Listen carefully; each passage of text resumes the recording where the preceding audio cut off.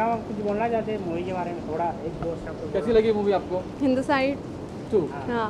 मुझे मूवी बहुत अच्छी लगी। फ़र्स्ट हाफ़ फ़र्स्ट हाफ़ थोड़ा स्लो गया है मतलब बहुत ही स्लो गया है लेकिन सेकेंड हाफ़ में मूवी क्रेजी हो जाती है काफ़ी ज़्यादा पेस पकड़ती है सो सेकेंड हाफ़ बहुत ही मज़ेदार है। तो आपको रकुल जी हैं और उनका हाँ लगा? उनका उनके मैं जब उनको देखा मैंने कहा कि ये भी इसमें है लेकिन क्योंकि मैंने पहले देखा नहीं था मैं बस आई थी जस्ट एंड बट मुझे उनका काम बहुत ही अच्छा लगा कमल हासन ने तो जो काम किया है जो एप्स दिखाए हैं जो वर्मा किया उन्होंने नॉट विद फिंगर्स बट चीज़ों के साथ भी तो पूरी मूवी ऐसे मिला के काफ़ी क्रेजी हो जाती है। फिर लास्ट में उन्होंने थर्ड पार्ट का भी थोड़ा हिंट दिया है which is also good so मैं यही कहूँगी कि सीट से मत उठना लास्ट में बैठ के देखना and then you can go तो इसको अगर आप चाहो तो रेटिंग में क्या देना चाहेंगे? Three out of five three out of five इतना कम नहीं है। प्रॉब्लम अच्छा, ये है ना। कि फ़र्स्ट हाफ़ में अगर थोड़ा सा सा बढ़ा देते तो मज़ा आ जाती और थोड़े आइटम सॉन्ग चलता है। लेकिन ठीक है हम ये थर्ड पार्ट में एक्सपेक्ट कर रहे हैं शंकर सर से तो। टेन ऑन टेन भैया मज़ा आ गया एकदम। एकदम। ज़बरदस्त कमल ज़बरदस्त। हसन के बारे में कुछ बोल दीजिए हाँ? कैसी लगी? कमल हसन की एक्टिंग वगैरह कमल हसन तो है ही पर एस शंकर क्या बनाता है यार? उसकी क्रिएटिविटी मतलब अनटचेबल है। राजा मौली के बाद नहीं राजा मौली एस शंकर मतलब बोलते हैं ना एक लेवल पे। मानना पड़ेगा। ही है तो लेकिन ये ये होती ना बात मतलब हमें क्या क्या बोलते हैं कई सारी मूवीज़ देखते हैं ना तो ऐसा लगता है कि गवर्नमेंट के खिलाफ जा रही है और थोड़ी बायस नहीं ये होती है अच्छा, मूवी ये जो पिक्चर बनाई है यूथ करप्शन के साथ बनाई है अभी के साथ जनरेशन के साथ बनाई गई हाँ, हाँ। तो ये कैसी लगी आपको परफेक्ट है। तो असर पड़ेगा? असर पड़ेगा ये तो मैं कोई डाउट नहीं बोलता। अब पुरानी इंडियन जो थी उसका भी असर पड़ा ही था ना। हाँ। तो इसका भी पड़ेगा मुझे लगता है। तो एक्टिंग की जो बात करें जिसमें और भी एक्टर्स हैं जैसे सिद्धार्थ हैं राकुल हैं इन पे इनकी माँ की आ, मुझे सिद्धार्थ इतना कुछ खास पसंद तो नहीं है सच बता तो लेकिन नहीं ये ये मैं बोलूँगा ना ये सब डायरेक्टर का कमाल है। असल में स्टोरी इतना बढ़िया लिखा है ना मतलब है। कुछ नहीं कुछ नहीं मुझे तो ऐसा कुछ नहीं लगा। पुरानी मूवी भी लेंथी ही थी गाना पुरानी मूवी थोड़ा हिंदी डबिंग में बेकार थे लेकिन इस वाले के एकदम परफेक्ट है। हाँ और लास्ट में ट्रेलर लोगों को देख लेने बोलना हो सके तो क्योंकि ट्रेलर मिस कर देंगे बहुत उनको दुख होगा बाद नहीं में। मिस करना चाहिए। हाँ ट्रेलर नहीं मिस करना चाहिए। भी हो सकता है कि पार्ट थ्री आ जाए। पार्ट है कंफर्म्ड है वो तो कोई डाउट नहीं है पर ट्रेलर लास्ट में देख लेना क्योंकि भाई उसका मतलब यूट्यूब पे मज़ा नहीं आने वाला स्ट्रेट अप बात है। ठीक है? तो अच्छा इसमें अगर हम बात करें कलेक्शन की तो क्या लगता है कि ये पिक्चर इस टाइम पे बॉलीवुड में टॉप मारेगी? हम्म, मुझे उससे इतना कोई लेना देना तो है नहीं। कर लेगी ऐसा ऐसा ऐसा मुझे कलेक्शन कर सकती है अच्छी कमाई कर सकती है। हम्म, मेरे पापा पापा लोग की जनरेशन अगर आके देखेंगे ना तो हो सकता है। जैसे गदर थी ना मुझे गदर वाली फीलिंग आई लेजिट मैं बोल सकता हूँ। वो मूवी इतनी कुछ क्या बोलते हैं टेक्निकली खास नहीं थी लेकिन ना इमोशन जो था ना इमोशन जैसे इस मूवी ने कैरी फॉरवर्ड किया ना बिल्कुल वैसे गदर ने भी किया था। हो सकता है अगर हमारी पापा वाले की जनरेशन आ गई तो वो देख वो देख के करा देगी। इसमें हम अगर रेटिंग की बात करें पिक्चर बहुत बढ़िया रही सब कुछ रहा तो रेटिंग की बात करें तो आप कितना देना टेन चाहेंगे ऑन टेन कोई डाउट नहीं। गाना परफेक्ट है एक्टिंग परफेक्ट है स्टोरी बहुत परफेक्ट है। मैंने आपको जैसा बताया ना कई मूवीज़ ऐसी ऐसी जब आती है ना सोशल इशूज़ पे वो थोड़ी बायस लगती हैं। लेकिन एस शंकर की मूवीज़ कभी बायस नहीं लगी है। मुझे डर था थोड़ा सा कि ये बायस जाएगी लेकिन नहीं एकदम परफेक्ट है। तो आपने बहुत ही जेनुअन इसका रिव्यू दिया है लगभग अभी तक। तो मैं ये जानना चाहूँगा आप ऑडियंस के बारे में क्या कहना चाहेंगे? जो जनता है हिंदुस्तानी जो जनता है हिंदुस्तानी हाँ। हमारी हिंदुस्तानी उनके बारे में क्या कहना चाहेंगे? पिक्चर देखना चाहिए नहीं देखना चाहिए करप्शन पे जो भी ये मैं सही बताऊँ ना हम बोलते हैं ना परफेक्ट खिचड़ी। हमारे देश की सबसे अच्छी अच्छा क्या बोलते हैं खाना खिचड़ी है। क्योंकि उसके अंदर सब कुछ मिल जाता है। आपकी सब्ज़ियाँ हो जाएँगी मसाले हो जाएँगे सब कुछ ना। बिल्कुल हिंदुस्तानी टू ऐसी है। आप अगर आप देखेंगे ना पुराने जितनी भी मूवीज़ थे उनसे कुछ ना कुछ अच्छा पार्ट उठा के इन्होंने डाला। अपरिचित को ले लेंगे याद आएगी शिवाजी द बॉस की याद आएगी। इंडियन की खुद तो आने ही वाली है। तो ये बोलते हैं ना ये वो ऐसी खिचड़ी है जो सबको खिलानी चाहिए। स्ट्रेट अप वैसी बात है। बहुत ज़बरदस्त है। मैं मैं अब बोलूँगा पापा मम्मी को सबको लेके आने के लिए। ये एकदम परफेक्ट मूवी है। Thank you so much okay okay picture कैसी लगी आपको इंडियन पिक्चर ठीक है। बहुत एक्सपेक्टेशन के कमल हसन का काम कैसा लगा आपको? उनका काम तो अच्छा ही था बहुत अच्छा था। बहुत अच्छा लगा। हाँ। और जो पे किसका काम मतलब जो रकुल प्रीति भी हैं और भी हैं एक्ट्रेस तो इनको कंपैरिजन में आप कैसे बताएँगे? कितना अच्छा लगा? सिद्धार्थ का काम बहुत अच्छा लगा मुझे। सिद्धार्थ इज़ वेरी गुड किसी किसी जगह पे is very touchy when his mother dies and overall भी जो जिस तरह से सोशल मीडिया का एक टेक uh, है और सोसाइटी पे जो इम्पैक्ट है उसको ठीक से uh, उसका इम्पैक्ट कितना हो सकता है एक एक पोस्ट का उसकी बारे में भी काफ़ी फ़िल्म डिजिटलाइजेशन का जो इम्पैक्ट हो सकता है पॉजिटिवली और नेगेटिवली भी उसके बारे में बहुत दर्शाया है। दूसरा आप सोसाइटी को uh, सिर्फ़ ब्लेम नहीं कर सकते करप्शन के लिए। You have take certain actions yourself if you see corruption happening near around you आपको उसके अगेंस्ट कुछ बोलना चाहिए। आप में हिम्मत होनी चाहिए। So this is a very good message that the film gives you और uh, मतलब कहते रहो वो करप्ट है वो करप्ट है और मैं भी करप्शन करूँ तो मतलब क्या है मेरा? कहने का। तो इतने साल के बाद कमल हसन सर वापस से इंडियन टू इंडियन भी फ़िल्म वन थी और ये टू तो दोनों में कंपेयर करें तो आपको अरे भैया वन कब थी? तो हमारे बचपन के ज़बान थे याद भी नहीं है हमें। वो टेलीफोन धुल में थोड़ा सा याद है मुझे।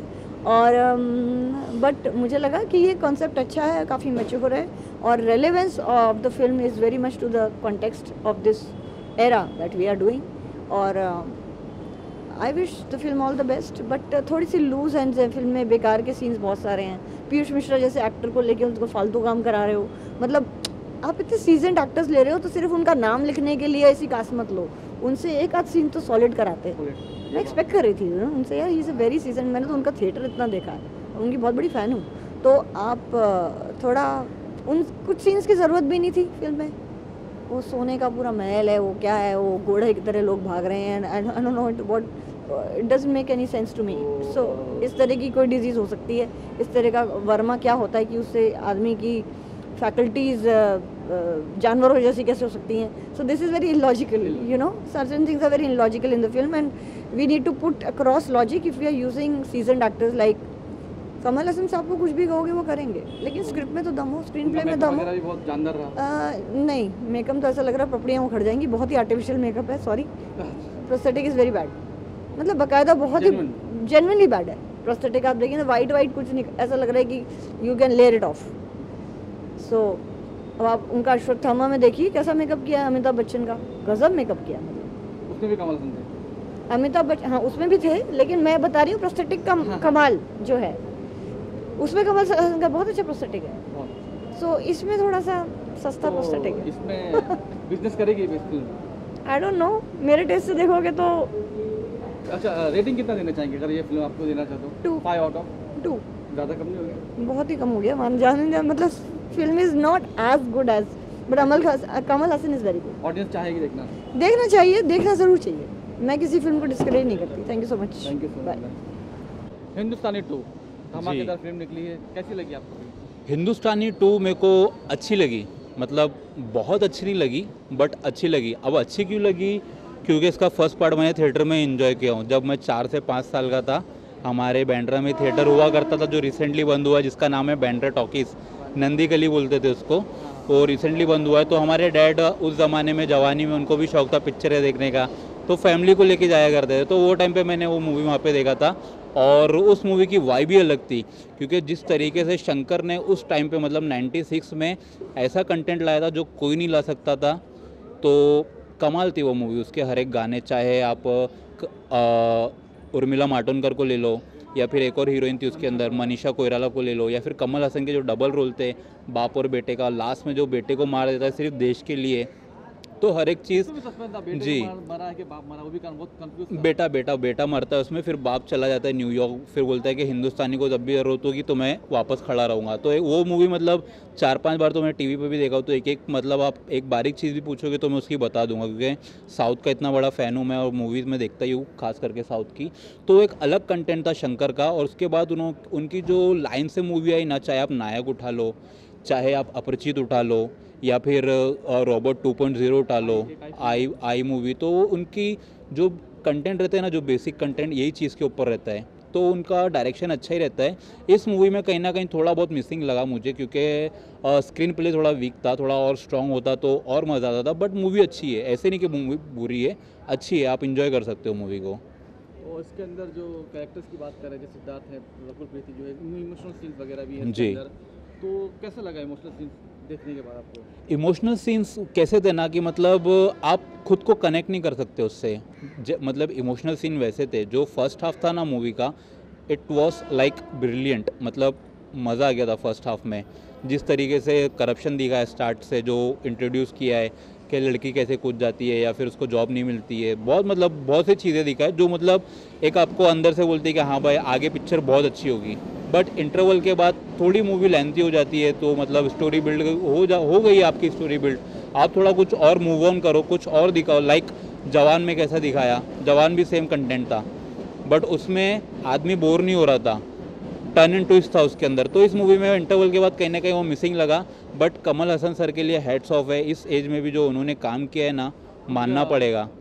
जी पैक्स वगैरह जो जी जी जी। मतलब कमल कमल हसन का तो मैं डाई हार्ट फ़ैन हूँ। जब उनकी जो फ़र्स्ट मूवी आई थी एक दूजे के लिए या अप्पू राजा या चा, चाची 420 हर एक मूवी मतलब उनकी मैंने देखी है और इस मूवी को भी मैंने मतलब देखा और रिसेंटली उनकी एक मूवी आई कल की उसमें भी है। उससे पहले विक्रम आई थी वो भी मैंने थिएटर में देखा था जैमनी में लगी थी यहाँ पे। कमल की बात करें तो वो ज़्यादातर मेकअप खुद ही करते हैं। तो इतने अपने आपको बुरा दिखाना जवान दिखाना फिर को इतना कंपोज करके दिखाना अपनी बॉडी नहीं नहीं मुझे नहीं लगता कि वो खुद करते होंगे अपने आप को मेकअप क्योंकि खुद मेकअप करना क्योंकि मैं भी बॉलीवुड से ही आता हूँ मैं भी जूनियर आर्टिस्ट का काम करता हूँ बॉलीवुड में। यहाँ पर कोई भी आर्टिस्ट ऐसा नहीं कि वो खुद अपना मेकअप करेगा बैठ के, क्योंकि जो लोग बोलते हैं कि यहाँ पे मेकअप होता है, यहाँ पे मेकअप ऐसा नहीं होता है। भाई, बाहर से लोग आते हैं जो इनके जो मेकअप करने के लिए, बाहर के लोग आगे इनका मेकअप करते हैं, तब जाके इनका मेकओवर ऐसा होता है।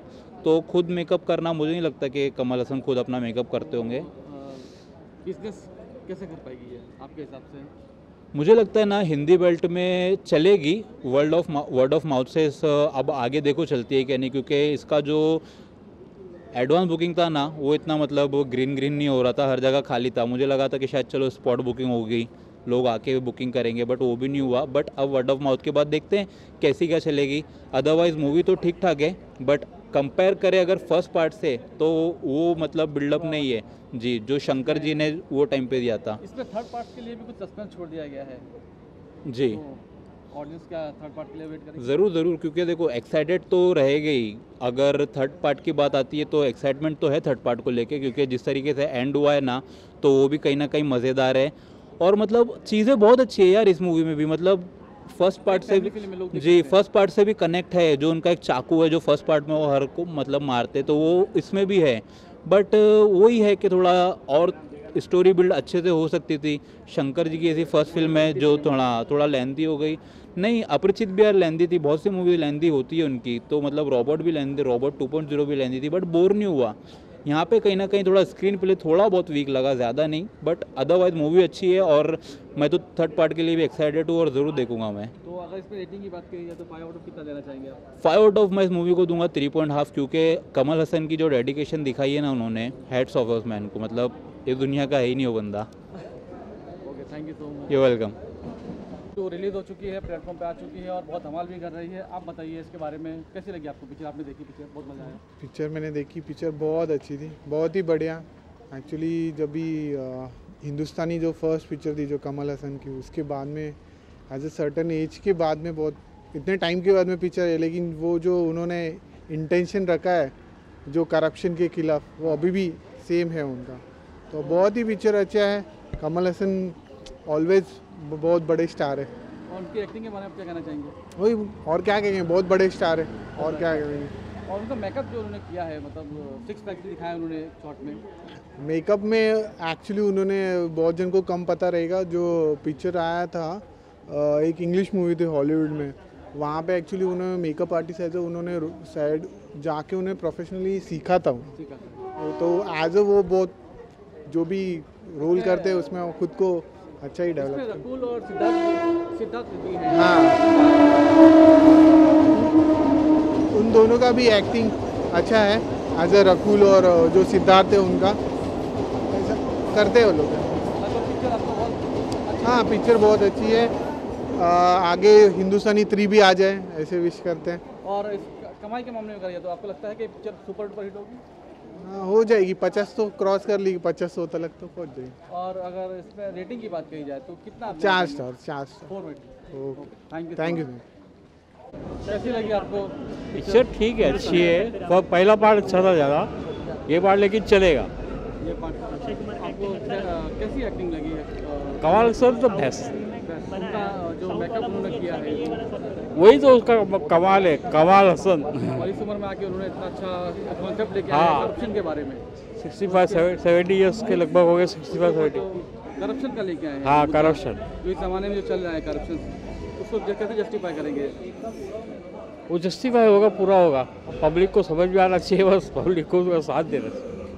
तो जो इसमें सिद्धार्थ जो थे उनकी माँ डेथ हो जाती है इमोशनल सीन भी है थोड़ा ड्रामा भी है। हाँ। तो पार्ट थ्री के लिए ऐसा कुछ दिखाया गया क्या पार्ट थ्री पार्ट थ्री होगा। होगा।